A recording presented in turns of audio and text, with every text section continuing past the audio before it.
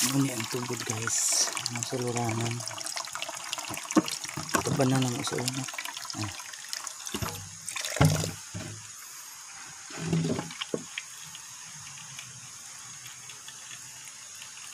Hindi ka na diha. Oh, guys.